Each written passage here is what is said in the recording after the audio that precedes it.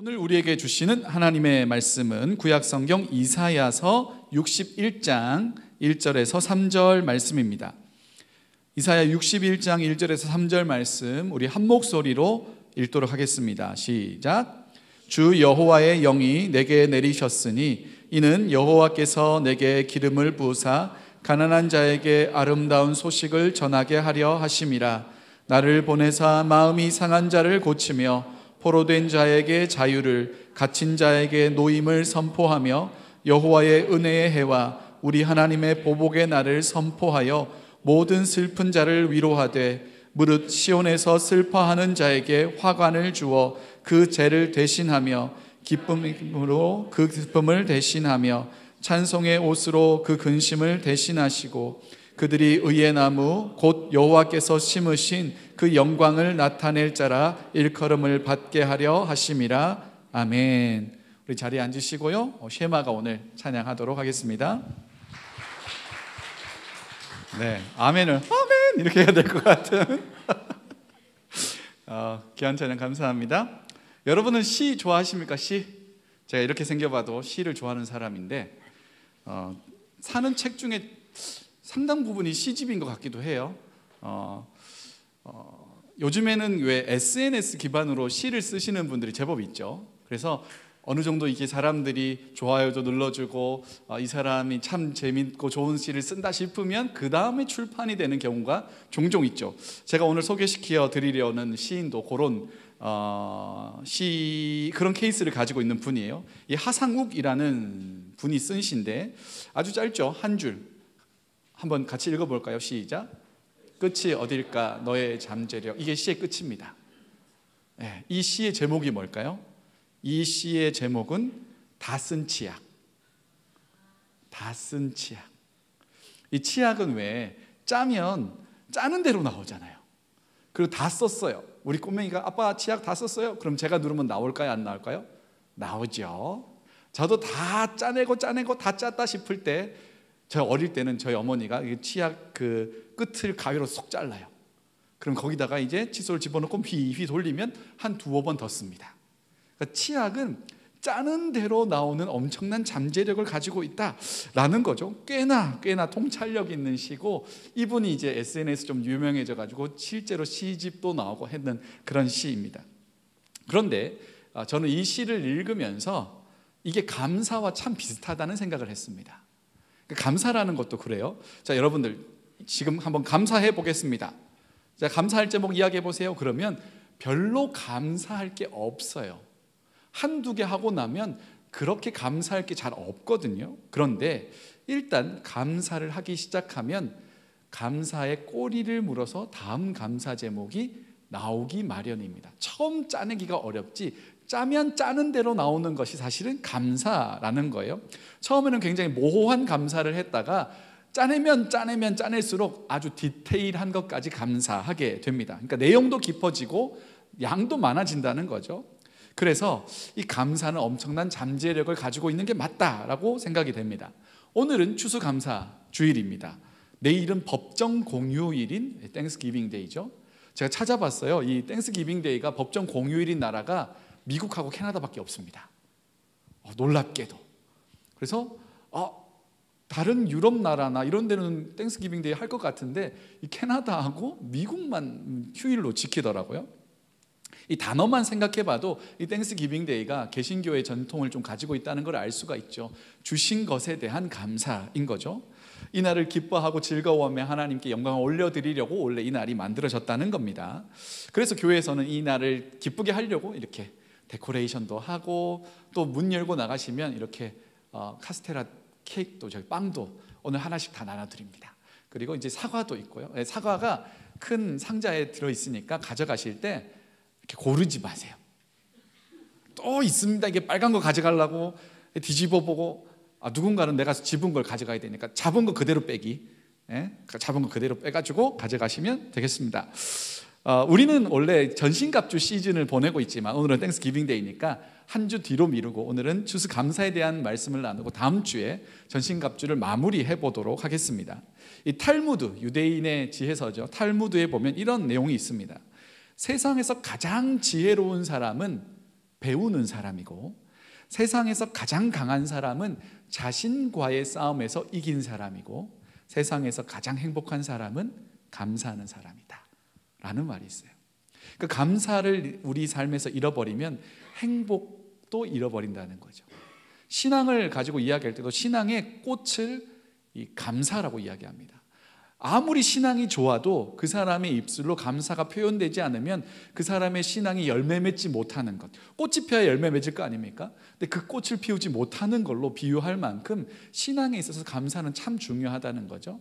요즘에 이제 그 긍정 심리학 에서 많이 이야기하는 게 회복 탄력성이라고 부르는 resilience라는 게 있거든요. 이 resilience의 끝에 가면 결국 어, 적용의 부분에서 가장 뚜렷하게 나오는 게 우리의 인생에 데미지가 왔을 때 그것을 빨리 회복할 수 있는 가장 좋은 방법으로 감사를 이야기해요. 그러니까 감사라는 것 우리 인생에 굉장히 중요하고 긍정적인 영향을 많이 미친다라는 거죠.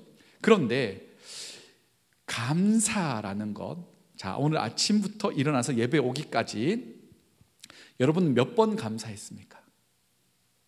아침에 일어나서 지금 예배 드리는 이 순간까지 여러분 몇 번 정도 감사하셨어요? 감사가 이렇게 중요하고 우리에게 너무너무 소중하대요. 너무나 큰 힘을 발휘한대요. 그런데 사실은 생각보다 우리는 감사라는 걸 잘 하지 않는다는 거죠. 이게 감사의 역설입니다. 감사의 역설이 뭐예요?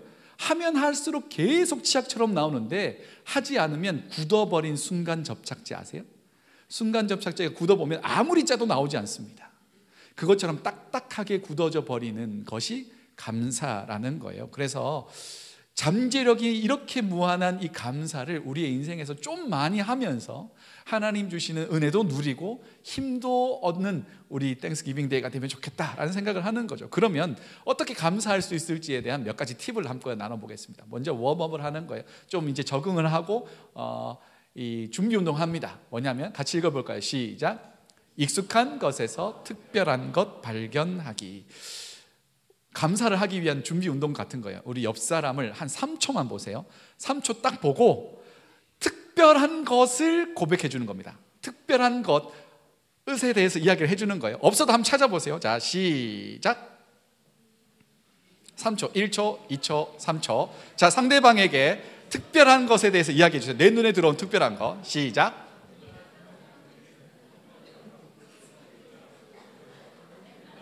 네.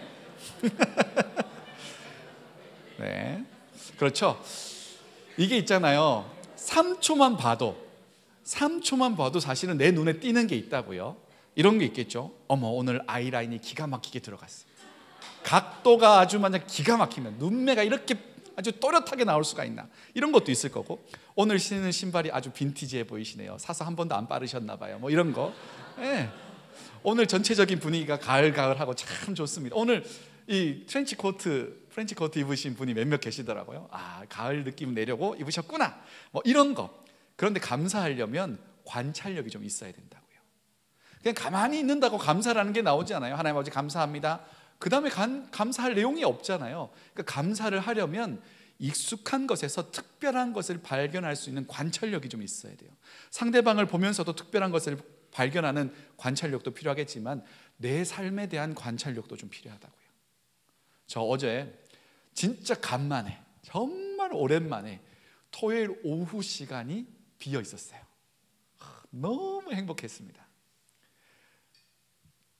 또 누가 보면 뭐라 할 수도 있는데 하여튼 12시 땡 치자마자 집에 갔어요 토요일날 12시 땡 치자마자 막 집에 가가지고 옷을 싹 갈아입고 아내에게 여보 나에게 굉장히 소중한 오후 시간이 주어졌으니 나 한 시간만 누워 있겠다 한 시간만 누워 있겠다 하고는 이제 우리 저희 꼬맹이 방에 딱 가서 창가가 있는 방이거든요 딱 누웠어요 근데 햇살이 창문을 타고 딱 들어오는 거예요 그 햇살이 제 배에다가 딱 오더라고요 얼마나 따뜻한지 이게 너무 행복한 거예요. 그래서 그랬습니다. 하나님, 해를 15분만 멈추어 주옵소서.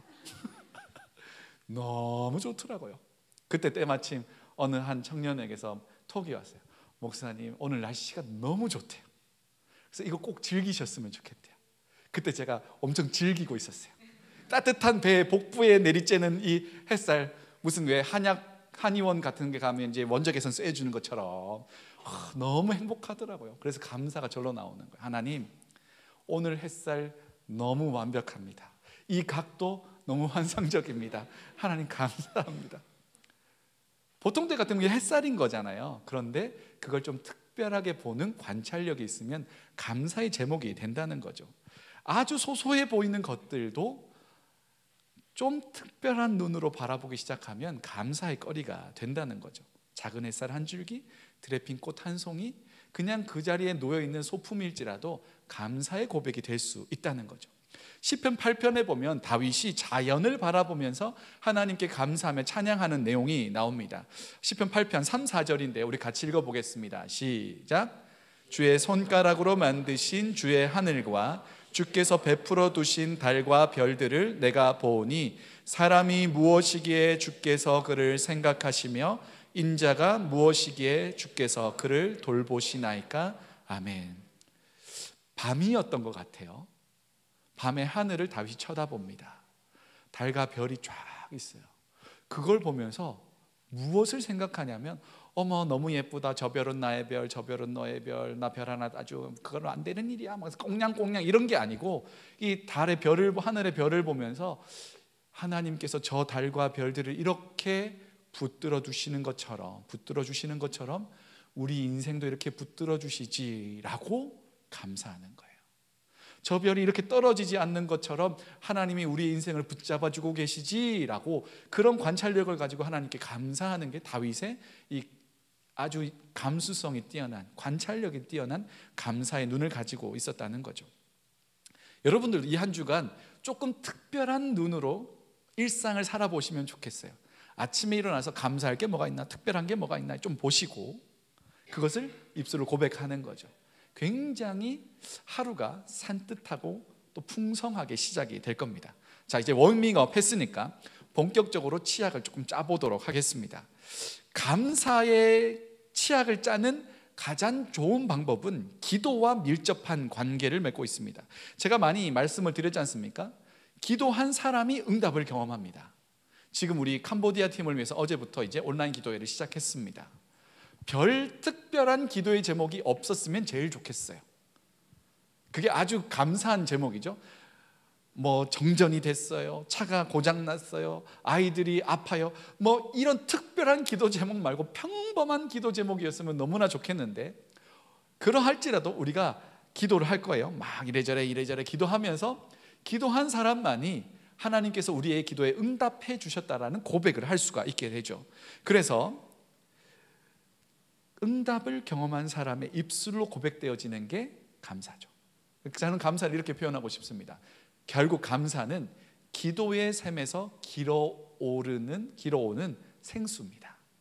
그러니까 감사가 깨끗하게 많이 나오려면 이 웅덩이가 깊어야 되지 않겠어요? 그 깊은 샘을 뭘로 만들어요?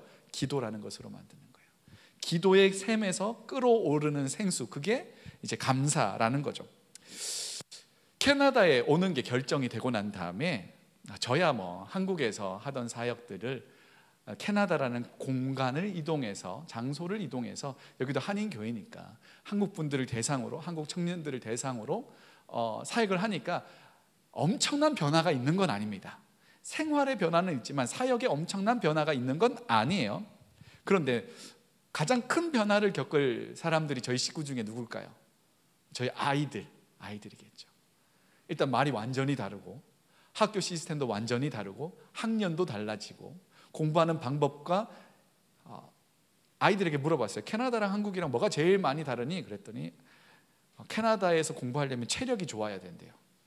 그게 무슨 말이냐니까 맨날 나가 노르를 한대요. 그리고 문을 잠군대요. 못 들어가게.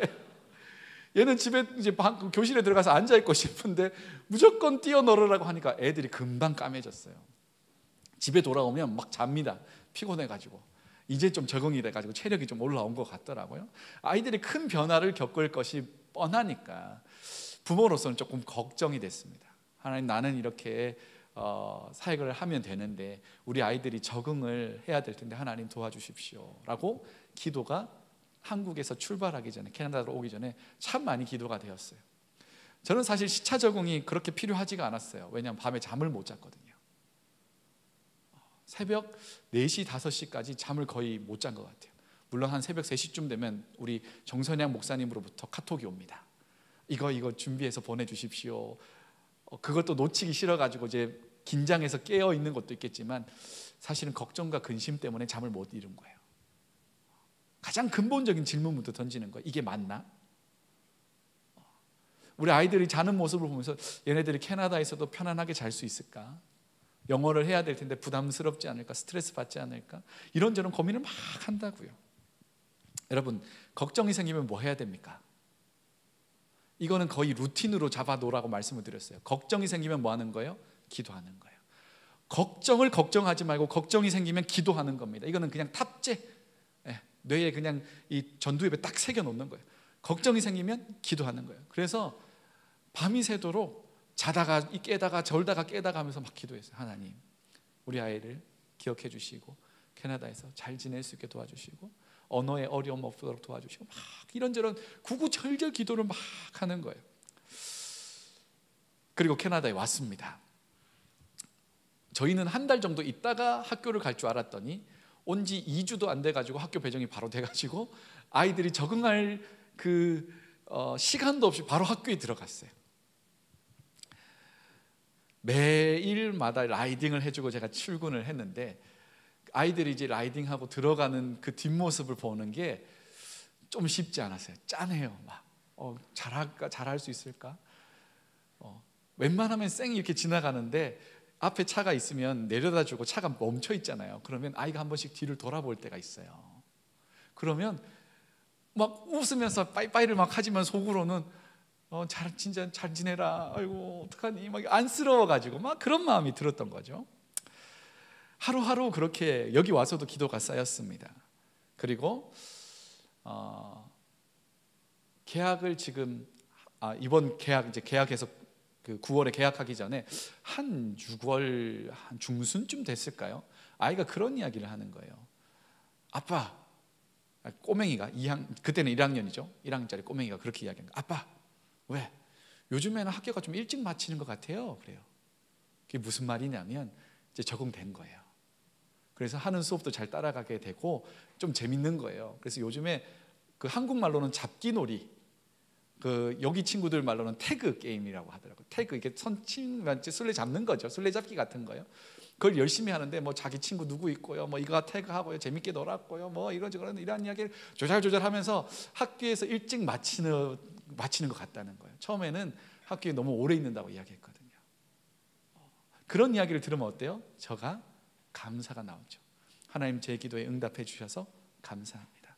이것 말고도 기도할 게 진짜 많고 기도에 대한 응답이 진짜 많아요. 캐나다에 와서 그만큼 한국에서 평범하게 지낼 때 하지 않았던 기도를 캐나다에 와서는 모든 게 낯서니까 다 기도하게 되는 거예요. 그리고 구체적으로 기도하니까 구체적인 응답의 경험들이 많은 거죠. 여러분 감사의 삶에서 어, 그 기도의 샘에서 끌어 길어 오르는 생수와 같은 게 감사. 여러분의 삶을 두고 좀 디테일하게 기도해 보세요. 아주 그냥 사소한 것 가지고도 같이 한번 기도해 보세요. 그리고 그 기도에 대한 하나님께서 응답이 어떤 것이 있었나를 좀 관찰해 보세요. 그러면 생각보다 우리의 삶에 참 많은 응답이 있었고 감사의 제목이 있다는 것을 알게 되는 거죠. 어, 이런 감사도 있습니다. 치약을 거의 다 짜내는 것 같은 감사인데요. 이거는 거의 치약 다 짜낸 겁니다. 어, 이게 엄청난 잠재력을 가지고 있는 부분이기도 한데 이런 겁니다. 기도가 이제 기도해서 응답받아서 감사 나오는 것 말고 그 다음 단계, 최종 단계의 감사는 이 신실하신 하나님과 그분의 말씀에 의지하여 드리는 감사예요. 자, 신실하신 하나님과 그분의 말씀에 기초해서 드리는 감사. 이거는 뭐냐면 내 눈에 지금 보이는 게 없거든요. 내 눈에 이루어진 게 없습니다. 기도의 응답이 없습니다. 그럼에도 불구하고 기록된 말씀을 붙잡고 드리는 감사인 겁니다. 내 눈앞에 현실이 암울한데 내 눈앞에 기대치가 지금 별로 없는데 여전히 내게 주신 하나님의 말씀이 있다면 그 말씀을 붙들고 미리 감사하는 거죠. 하나님이 이루실 것을 믿기 때문에 드리는 감사. 오늘 본문은 이사야 말씀입니다. 이사야 말씀은 이스라엘이 망하는 것을 전제로 기록된 말씀입니다. 그러니까 이사야 북이스라엘이 아수르에 의해 망하고 남유다가 바벨론에 의해 망할 거라는 예언이 담겨 있는 책이 이사야예요. 그러니까 이사야의 배경 자체는 굉장히 암울한 겁니다. 그런데 이사야 후반부에 보면 하나님께서 바벨론의 포로로 끌려간 사람들이 하나님의 은혜로 돌아오게 될 거라는 예언의 말씀, 그 믿음의 말씀이 담겨져 있는 겁니다. 오늘 본문은 그 구원하실 내용 중에 하이라이트의 한 부분입니다.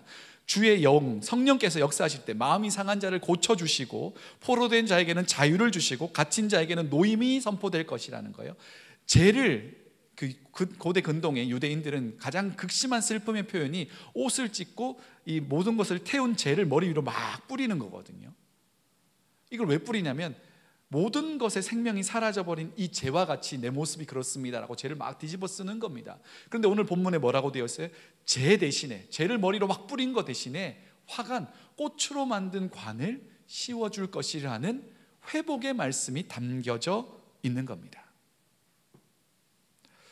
기본적으로 죄에서 돌이키라는 말씀이면서 동시에 내가 결국 포로로 끌려갔던 너희 백성을 돌이키게 할 것이라는 약속의 말씀이 기록돼 있어요. 그러면 내가 지금 포로기에 있는 사람입니다. 맨날 강제 노역해야 되고 예, 하나님을 섬기는 것에 제한을 당하고 고향으로 돌아가고 싶어도 돌아가지 못하는 상황 가운데 있어요. 그러니까 우울하고 침울하고 아주 그 소망이나 희망을 품기 어려운 상태겠죠. 그런데 이사야를 통하여 주신 말씀이 남아 있다고요. 그럼 그 중에는 이 말씀을 붙드는 사람은 이 말씀의 근거에서 하나님께서 이루실 것이기 때문에 감사할 수 있다는 거예요. 이게 감사의 치약을 마지막까지 짜고 짜도 짜도 계속 나오는 엄청난 잠재력을 가진 감사의 원리입니다. 하나님께서 너의 슬픔과 탄식을 찬송으로 바꿔주시겠다 하신 그 약속의 말씀을 붙들고 하나님께서 신실하시기 때문에 그 약속을 이루실 것을 믿기 때문에 드리는 감사죠. 어떻게 보면 선취적인 감사입니다. 하나님 그때 그 일을 이루실 것을 인하여 내가 감사드립니다. 라고 고백하는 겁니다.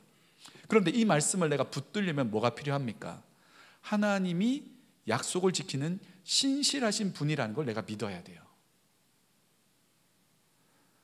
믿음의 방패 지난주 했지 않습니까? 악한 자의 불화살, 의심의 불화살이 막 날아올 때 이것을 막아내는 유일한 방법이 뭡니까? 기록된 말씀을 붙들어 드는 거예요. 똑같은 원리죠. 감사도 똑같습니다. 기록된 말씀을 하나님께서 이루실 것을 믿을 때 감사가 고백된다는 거죠. 이렇게 할 수 있는 겁니다. 내 상황 가운데 말씀이 주어졌습니다. 그러니까 기, 본적으로 이 잠재력 있는 감사를 끌어내려면 좀 읽으셔야 됩니다. 예, 소스가 많아야 돼요. 데이터베이스에 감사의 이 데이터베이스가 좀 많아야 됩니다. 기록된 말씀의 데이터베이스가. 자, 내 상황 가운데 기도하는 가운데 하나님께서 말씀을 주셨습니다. 어떤 말씀을 깨닫게 해 주셨습니다. 그 말씀을 내가 믿음으로 붙잡아요. 그러면 지금 그 말씀은 나에게 이루어지지 않았죠. 현실화되지 않았어요. 그런데 하나님의 시간에는 이미 이루어진 사건입니다. 우리는 수평적인 시간을 살아가요. 과거, 현재, 미래죠. 그런데 내가 믿음으로 하나님 주신 말씀을 붙잡을 때 하나님의 응답은 이미 이루어졌습니다. 그리고 우리를 향해 다가오고 있죠. 나의 시간과 하나님의 시간이 교차되는 그 지점을 우리는 무엇이라 부르냐면 카이로스, 어떤 의미적인 때라고 부르고 동시에 그것을 우리는 응답이라고 부릅니다. 그러니까 내가 믿음을 가지고 하나님 주신 말씀을 붙들고 하나님 내가 내게 주신 말씀을 내가 믿습니다. 받아들입니다. 하나님 이루실 것을 내가 믿습니다라고 고백하는 그때 이미 하나님은 이루어 두셨다고요.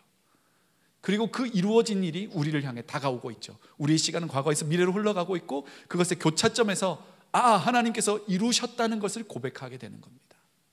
하나님은 그렇게 일하시는 분입니다. 막연하게 있다가 교통사고처럼 응답을 경험하는 게 아니에요. 내가 기도할 때 하나님 말씀 주실 때 내가 그것을 붙잡을 때 하나님은 이미 이루신 사건입니다. 그러면 우리가 그 말씀을 붙잡고 꾸준히 걸어갈 때 그 응답의 사건의 때, 카이로스의 때를 우리가 누릴 수 있게 되는 거죠. 우리 찬양팀 이름이 카이로스 아닙니까? 이분들이 찬양하는 그 찬양의 고백들이 하나님의 때에 우리의 삶에 경험되는 은혜가 있게 되기를 소망합니다. 그런 의미로 지은 게 맞나요? 어 맞아요. 어, 지금 제가 해석해 드린 거 아니죠? 네. 이런 감사, 믿음으로 고백하는 감사를 선취적 감사라고 부릅니다. 이건 단순히 희망의 표현이 아닙니다.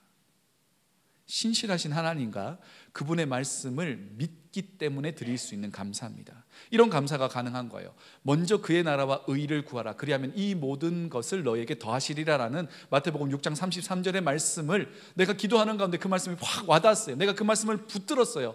그러면 먼저 하나님 나라와 의를 구하며 살아갈 때 하나님은 이미 이루신 그 이 모든 것을 다 하시는 은혜를 경험하게 하실 겁니다. 그래서 나는 미리 감사할 수 있는 거예요. 어, 우리 뭐 커뮤니티도 그렇고 우리 셀장들도 그렇고 섬기는 분들과 함께 기도 모임 할 때 늘 제가 하는 기도가 이 기도 아닙니까? 하나님 여기에 하나님 나라와 의를 먼저 구하는 자들이 있사오니 기록된 대로 말씀하신 대로 이 모든 것을 더하시는 은혜를 이들의 삶에 허락해 주옵소서. 이거 그냥 간구하는 기도가 아니고 믿음으로 선포하는 기도입니다. 이들은 경험하게 될 거예요. 하나님은 이 기도에 이미 응답하셨고 그 응답이 우리를 향해 다가오고 있는 줄 믿어요.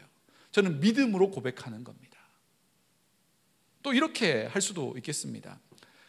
하나님이 세상을 이처럼 사랑하라, 사랑하사 독생자를 주셨으니 이는 그를 믿는 자마다 멸망하지 않고 영생을 얻게 하려 하심이라. 이 말씀을 붙들면 이런 감사가 가능합니다. 나는 예수를 믿기 때문에 멸망하지 않습니다. 그리고 영생, 하나님 나라의 영원한 삶을 약속받았습니다. 라고 감사할 수 있는 거예요. 이 말씀이 믿어지지 않으면 이 말씀을 근거로 감사할 수가 없는 거예요. 그러나 기록된 말씀을 내가 붙드는 순간 이 말씀 구절은 그대로 나의 감사의 제목이 됩니다. 하나님, 우리가 아직 죽지 않았잖아요. 그럼에도 불구하고 영원한 삶을 미리 선포할 수 있어요. 하나님이 약속하셨으니까요. 성경에는 무수한 약속들이 가득 차 있습니다. 숨은 보화들이 너무너무 많다고요. 그래서 예수님 말씀하시잖아요. 밭에 감추어진 보화와 같다고. 이것의 가치를 아는 사람은 자신의 전 재산을 팔아서 이 밭을 산다고. 여러분, 우리의 삶에 있는 가장 값진 보화가 여기에 들어 있습니다. 여러분의 시간을 투자해도 전혀 아깝지 않을 만큼의 기회비용이 여기에 담겨 있다고요. 비교할 수 없을 만큼의 수많은 약속들이 여기 있습니다. 펴서 읽으시고 믿음으로 고백하실 때 하나님은 결국 이 말씀대로 살아가는 자들에게 그 약속의 말씀을 이루실 줄 믿습니다. 부지런히 좀 읽으세요.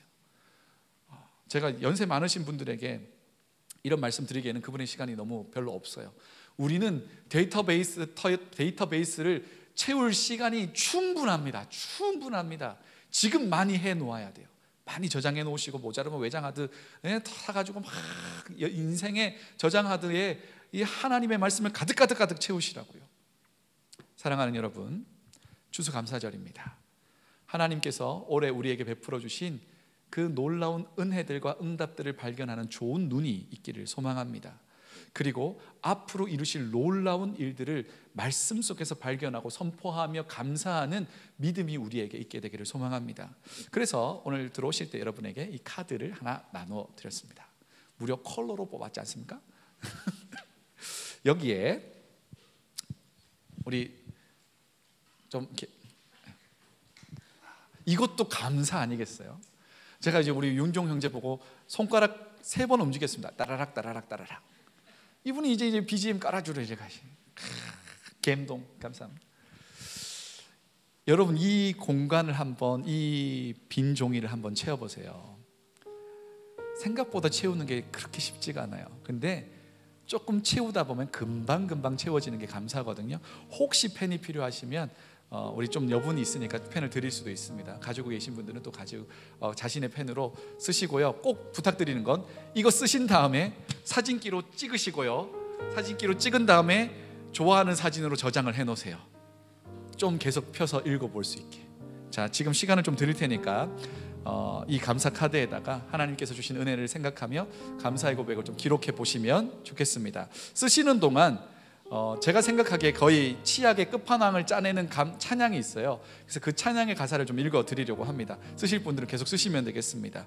이 날 구원하신 주 감사라는 찬양인데 이렇게 되어 있습니다. 날 구원하신 주 감사, 모든 것 주심 감사. 지난 추억이네 감사, 주 내 곁에 계시네. 향기로운 봄철에 감사, 외로운 가을날 감사, 사라진 눈물도 감사, 나의 영혼 평안해. 2절은 진짜 더 멋져요. 응답하신 기도 감사, 거절하신 것 감사. 아, 거절하신 것도 감사라는 거예요. 해처럼 높으신 감사, 모든 것 채우시네. 아픔과 기쁨도 감사, 절망 중 위로 감사, 측량 못할 은혜 감사, 크신 사랑 감사해. 이제는 또 아주 관찰력 좋은 감사죠. 길가의 장미꽃 감사, 장미꽃 가시 감사. 따스한 따스한 가정 희망 주신 것 감사. 기쁨과 슬픔도 감사, 하늘 평안을 감사. 내일의 희망을 감사, 영원토록 감사해.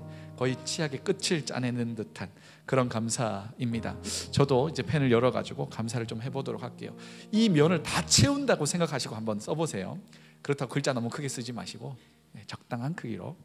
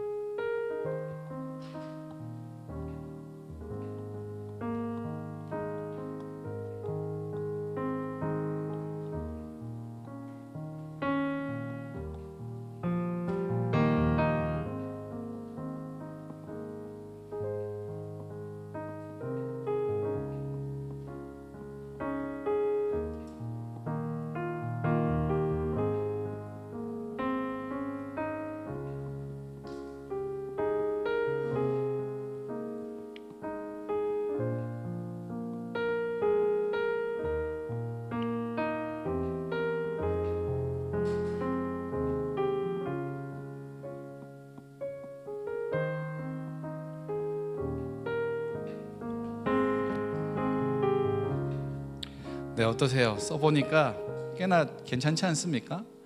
어, 어떤 분들은 그 구체적으로 매일 감사 일기 쓰시는 분들도 있더라고요. 시작은 보통 세 가지 감사를 매일 쓰는 걸로 시작한대요. 그런데 이게 지나고 하루하루 지나다 보면 10개, 20개로 막 늘어난대요. 얼마나 이 감사의 잠재력이 엄청난지 그때마다 세밀하게 돌보시는 하나님을 경험할 수 있게 되는 거죠. 오늘 다 못 쓰신 분 그 셀 모임 시간에도 해보셔도 되겠고요. 또 집에 가셔서도 이 앞장 채우셨으면 뒷장도 채운다는 생각으로 감사의 이 관찰력과 이 감수성 예민함을 가지고 계속 해 보시면 좋겠습니다. 네, 시간을 더 드리면 좋겠지만 여기까지 하고요. 어, 다 못 쓰신 분들은 또 이후에 꼭 쓰시는 걸로 해보시면 좋겠고요. 사진 찍으시고 좋아하는 사진 남기시고 어, 왜냐하면 한참 올려다 보면 결국엔 또 잊어버릴 수가 있으니까 좋아하는 사진으로 딱 해놨다가 그거 딱 누르면 어? 올 한해 내가 이렇게 감사했지라는 기억을 하실 수 있도록 그리고 가능하시다면 매일의 감사를 통해서 하나님께 영광 올려드리면 참 좋겠어요. 어, 저에게 있어서 이번 한 주 참 감사한 것 중에 하나는 어, 겨울 수련회 말씀 주제 말씀 우리 커미티가 그 제의들이 있는 것 같아요. 그래가지고 저에게 아직 겨울이 아니잖아요. 겨울 수련의 주제랑 말씀을 달래요. 엄청난 압박을 느꼈어요. 이, 이, 이 F와 P의 성향을 가진 저로서는 엄청난 압박으로 다가가지고 이제 새벽에 기도를 하기 시작했습니다. 하나님, 겨울 수련의 말씀을 달라는데 전 생각한 게 없는데요. 어떡하죠? 그러다가 하나님이 아주 간단한 통찰의 그 내면의 말씀을 주셨어요. 야, 너 캐나다 올 때 내가 했던 말 있잖아. 그게 뭐였죠? 왜 물 위로 걸어오라 했잖아. 그래서 그때 번개가 치는 것처럼 고강 넷플릭스 시작할 때 두둥 하듯이 제 마음속에 두둥 아 그렇습니다. 그래서 올 겨울 수련의 어, 주제는 물 위를 걸으라예요. 주께서 오라 하실 때 베드로가 그 말씀에 순종하여 물 위를 걷는 장면. 근데 막 그 말씀이 딱 정해지고 나니까 머릿속에 지도가 막 펼쳐지는 거예요. 어떻게 말씀드리는가 와 하면서 굉장히 행복한 한 주를 보냈습니다. 하나님께서 마치 이 파도 치는 바다와 같은 시절을 살아가는 우리에게 물 위를 걷게 하시는 능력을 베풀어 주실 거라는 소망이 막 생기면서 굉장히 즐거웠어요. 저의 이번 주 큰 기도 제목은 감사의 제목은 겨울 수련의 말씀을 주신 것 감사.